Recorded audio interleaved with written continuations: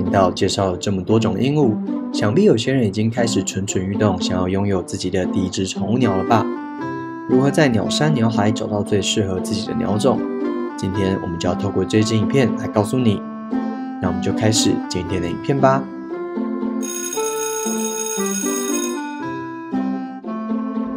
宠物鸟的选择是非常主观的，会依据每个人的需求、喜好，会有不同的选择。如果有些特质令你无法接受，再好养的鸟也不见得适合你。决定要养什么鸟之前，先简单评估一下自己究竟适不适合养鸟。我大致列了以下几项。首先，第一个，生活作息。鸟类是日出而作、日落而息的动物，你的生活作息可以跟鸟宝配合吗？你能忍受鸟宝七早八早就在尖叫吗？又或者是每天都很晚回到家，鸟宝都已经睡了，没有办法跟它们互动，你能接受吗？第二，鸟宝的健康，生老病死是所有动物必经的过程，鸟宝如果有状况，你愿意带它去就医吗？动物没有健保，医药费是一笔不小的开销，你会因为鸟宝的身价而犹豫要不要支付医药费吗？第三，生活环境。你能给鸟宝一个安全舒适的环境吗？鸟类在自然界啊是被掠食的动物，警觉性比较高，容易受到惊吓。你的环境能够让它有安全感吗？鸟宝也需要晒太阳，你的环境能够满足鸟宝的需求吗？飞翔对鸟类来说是很棒的运动，长期关在笼子或者是绑在站台都会容易过胖，双脚长期站在同一种栖木也容易受损。你会天天放它出来活动活动筋骨吗？第四点，咬人的问题。鸟类没有双手，它们只能用鸟喙去探索。情绪宣泄最快的方式就是咬，几乎没有不咬人的鸟。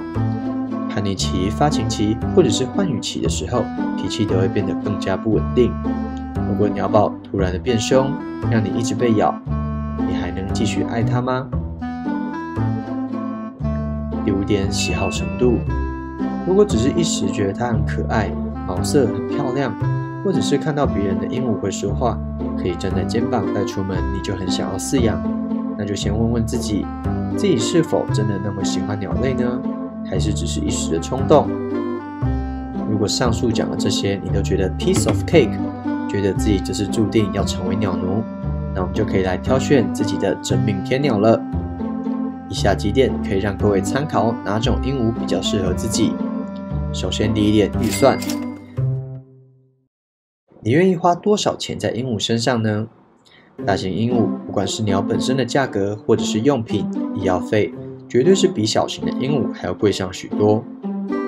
虎皮小鹰可能啊几百元就有，飞鹰折中啊可能都要一万元以上，而金刚、巴丹都可能要到上万元。同一个品种，不同的品系、毛色也会影响着价格。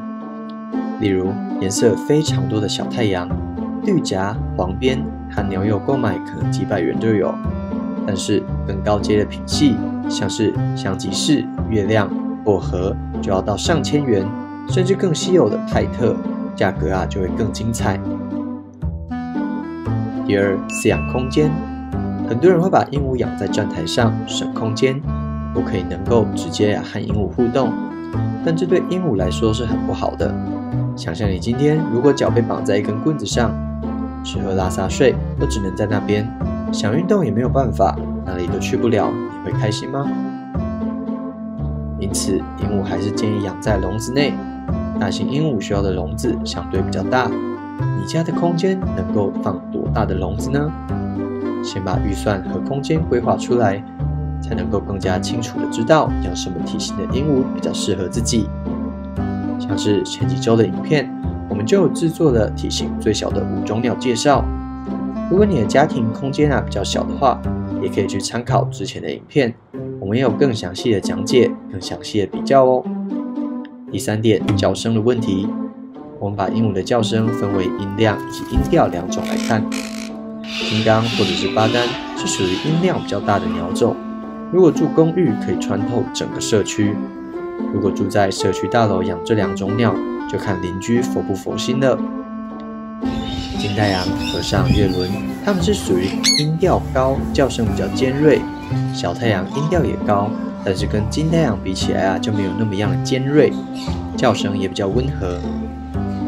叫声比较温和的，我认为是横斑。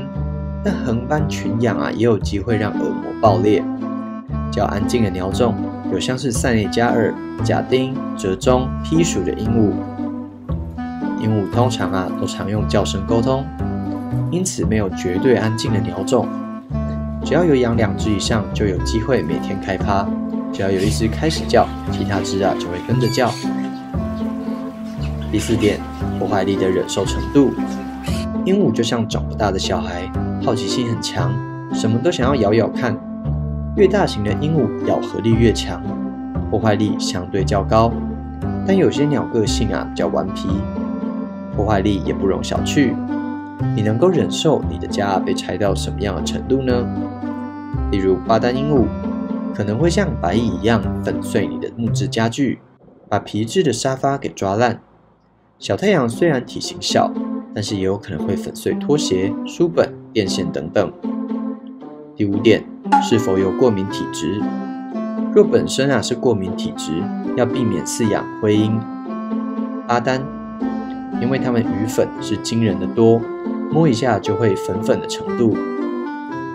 第六，鹦鹉的语言能力，很多人对鹦鹉都有一个迷思，认为鹦鹉都应该要很会说话，但其实鹦鹉不一定啊都会说话，就算会说话，也有分擅长和不擅长的。灰鹰算是便宜又大碗的鸟种，语言能力很强，亚马逊也蛮会讲话，但是价格比较高。如果不想要养那么大只的话，和尚、月轮、亚历山大的语言啊也都很不错，也有很多毛色的选择。语言能力不好的有塞内加尔、披鼠、爱情鸟、玄凤，它们的语言能力啊都没有那么好。不过学会吹口哨的几率比较高哦。第七点，寿命，大部分的鹦鹉都很长寿，基本上越大型的鹦鹉寿命越长，金刚可以活四十年以上。其实体型较小的太平洋鹦鹉，如果照顾得好，寿命也是十年起跳。只要养了鹦鹉，就要对它们负责，时间再长都要陪伴它。而且养了它，就像多了一个小孩，出远门可能都会放心不下。鹦鹉也很需要饲主的陪伴，太久没互动，可能会变得不亲人。你能忍受这样被限制的生活多久呢？第八点，互动性，也就是我们在讲的宠物性。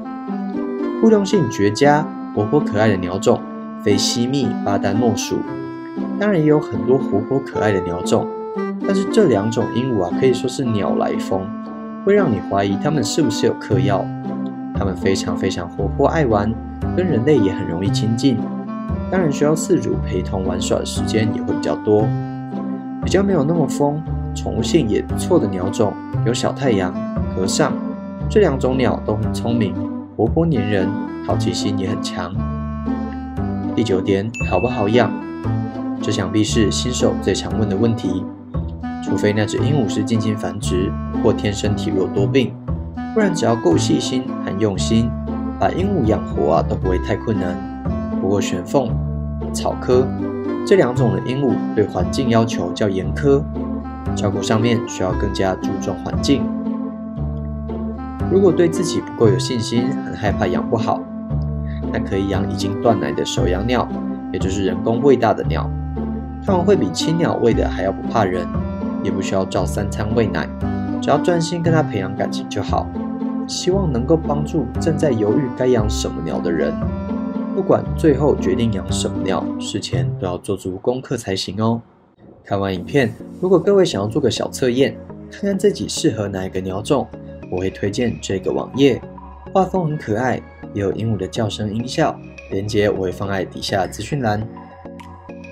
鹦鹉的寿命真的很长，是否愿意陪它走完这一生，而不是养久了觉得腻了，没有陪伴，结果鹦鹉野掉了，变得不亲人，就不想养了呢？鹦鹉的智商很高，它们的情感比你想象的还要丰富，如果被抛弃。对他们而言是非常大的打击。影片最后，祝大家都可以找到自己的真命天鸟。